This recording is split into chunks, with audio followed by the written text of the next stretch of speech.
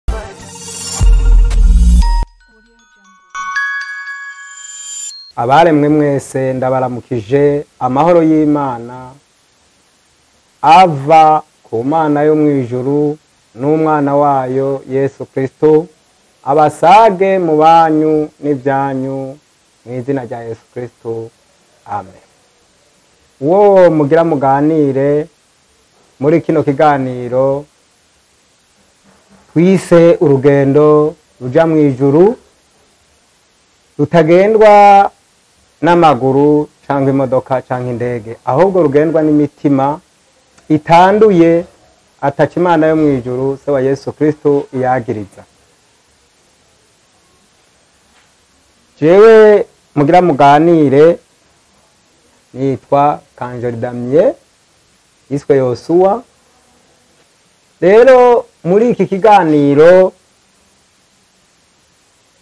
mesaje mfise nahawe n'imana tuganira ko uno munsi umutwe wayo uravuga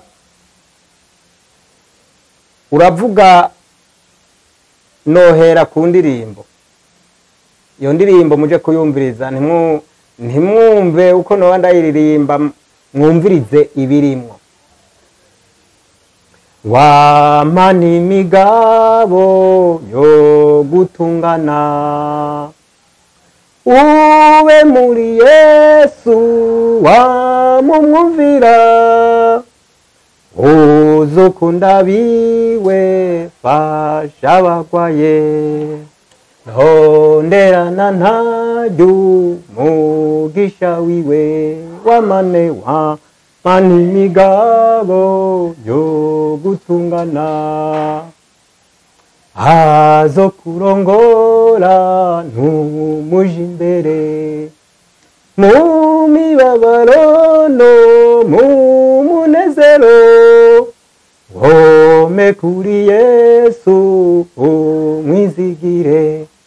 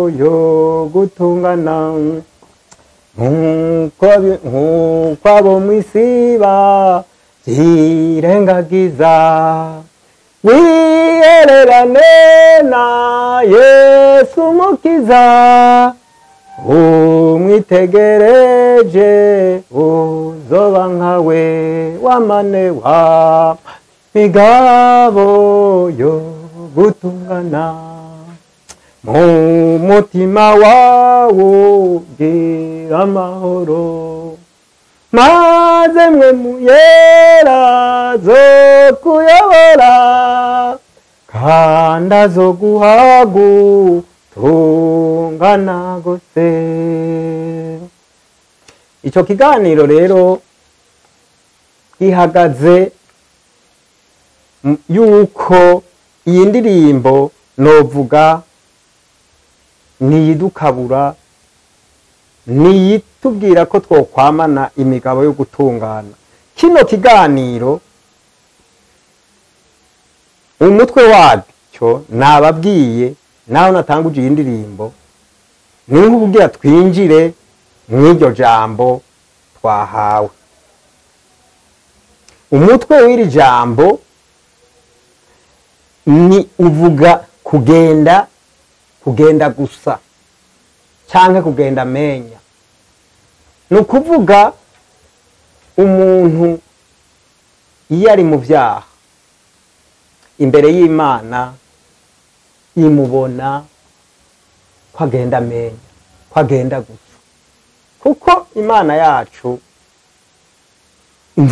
ntikundi icana gatoya na gato ntikundi icana ariko irakunda umunyabyaha ikaguma ko kabiri kabiri gatatu gatatu ikaguma imurindiriye ko yogenda muri ya migabo yo gutungana ariko irya ndirimbo natanguje ariko ivuga imana yo mu ijuru se wa yesu kirisitu iraguma iturindiriye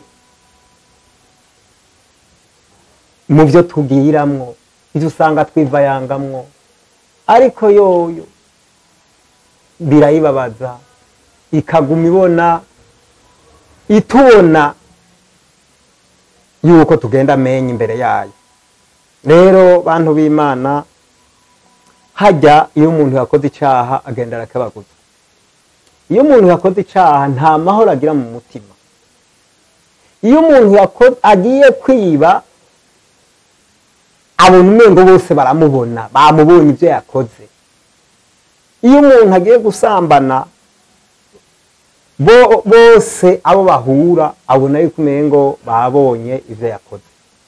kubera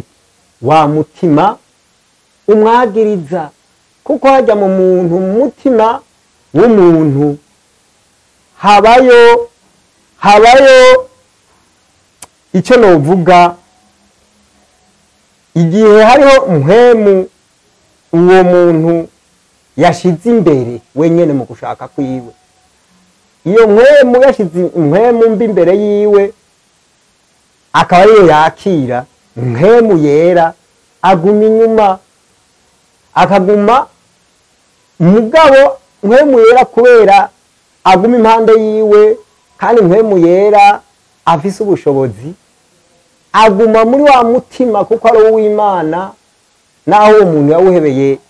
aba yawuhebesha shetani akakira iyo mpemu ishobora kumwiganzira mpemu w'imana aguma agarukana icyiyumviro muri we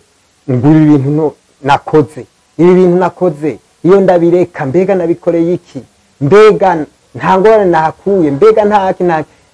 ni ukuvuga n'aho aba yabikoze nta mahoro agira agumana kwicuza ari umuntu yakoze amaraso aguma amaraso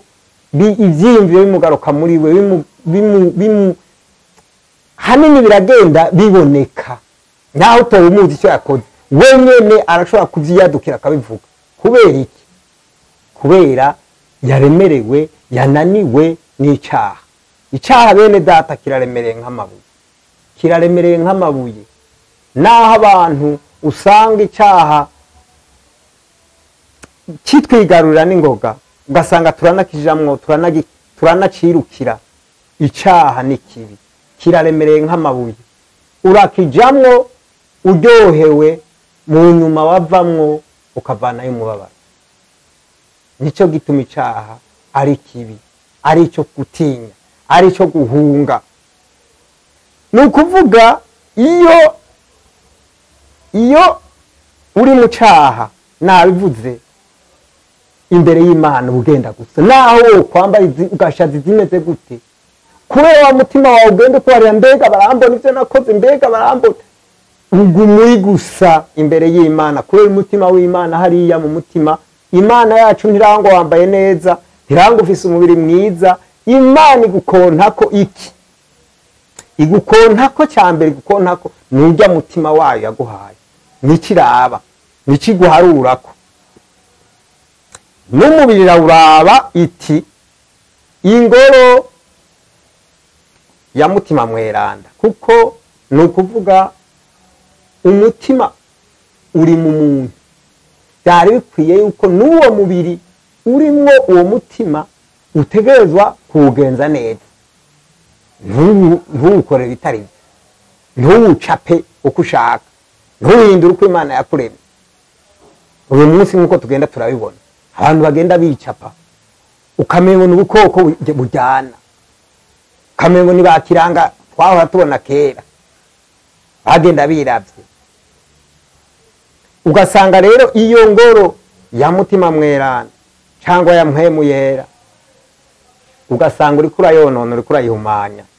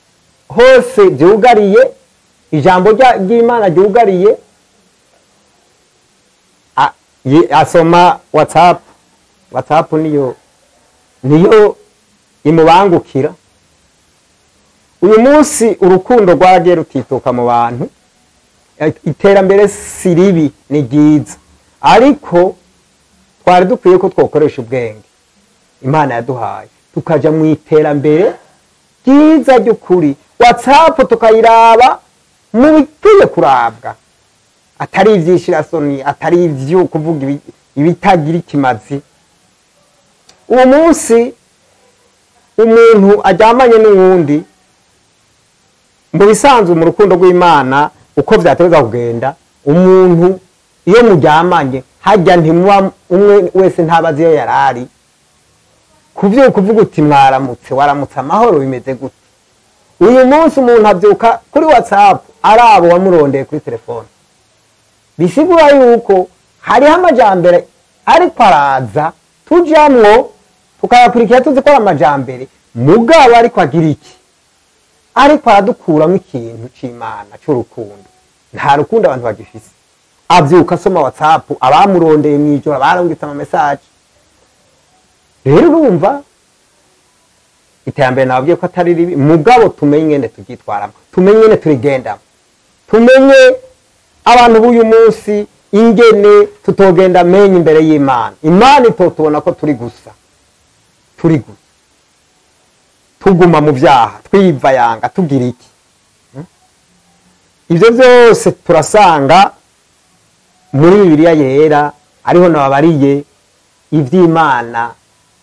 byugariye ku bakeneye kubimenya n'abakeneye kubiraba kubibona turabisanga mu itanguriro ikigabane cya gatatu umurongo w'indwi kugera ku murongo wa cumi n'icyenda haratubwira haratubwira yuko imana yacu imana yacu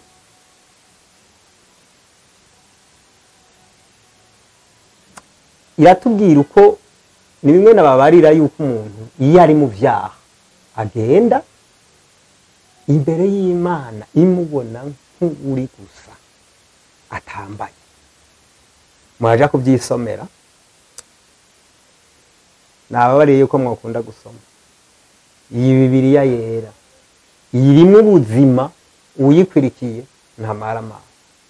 ntakogwa n'isoni ntahemukirwa kuko abafise uwo yizeye abafise ibyo avoma hano muri ino bibiriya yera irimwo byinshi irimwo amazi meza irimwo inzuzi nziza irimwo abagabo beza irimwo abagore beza irimwo inzu nziza irimwo imiduga myiza irimo ubuzima bwo kuri ino si n'ubuzobandanya n'ubuzobandanya mu ijuru ntaho hariho abatabyemera biyumvira ko ubuzima buherera kuri iyi oya ntibuherera kuri iyi si na gato kuko iyo abuherera kuri iyi si yesu kirisito ntiyari kugaruka ngo aducungure tuve mu byaha ngo adukorere ibitangaza adukize indwara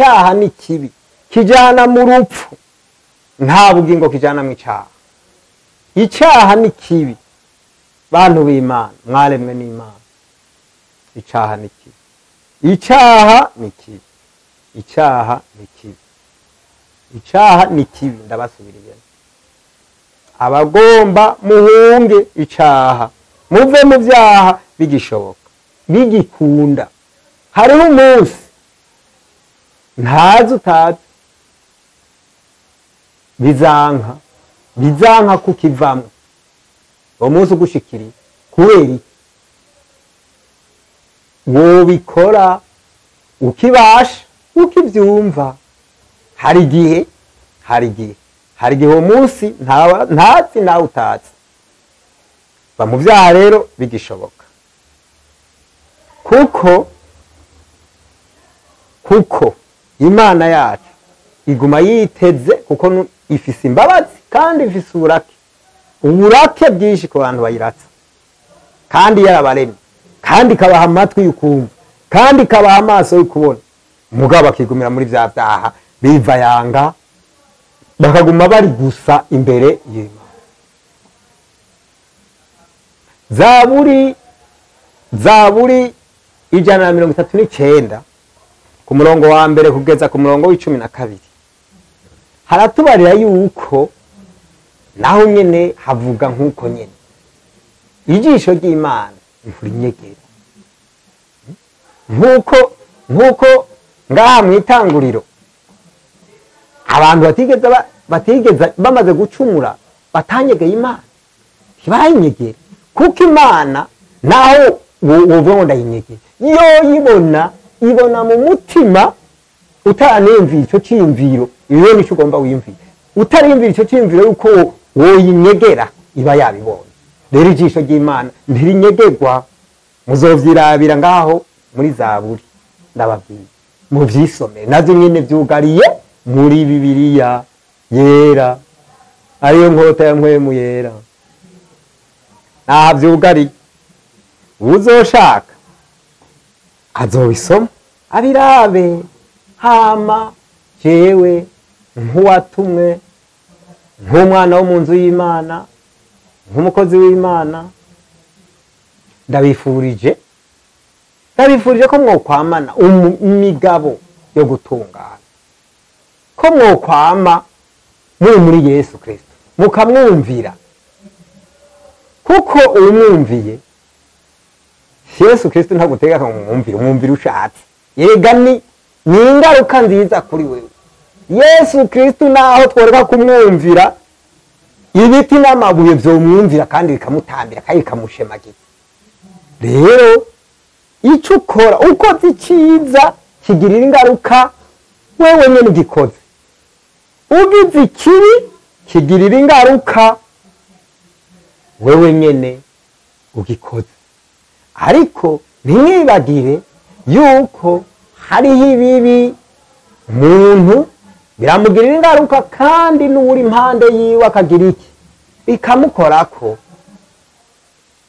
mugabe imana yacu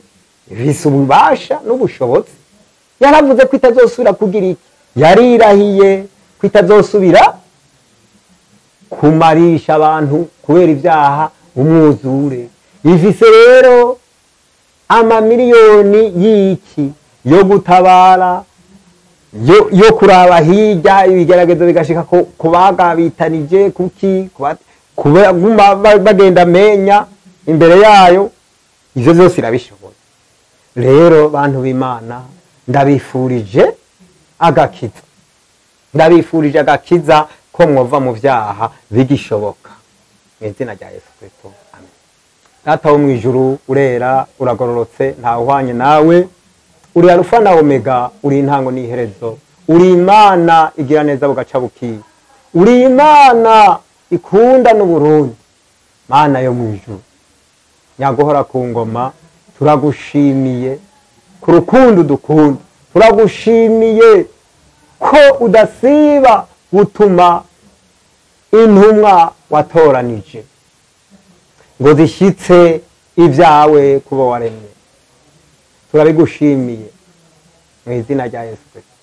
turakwinginze rero nyagora ku ngoma abumvise buno butumwa ariko baraburaba bose mana bigire aho bibakura iri jambo ryanyu mwandungikanye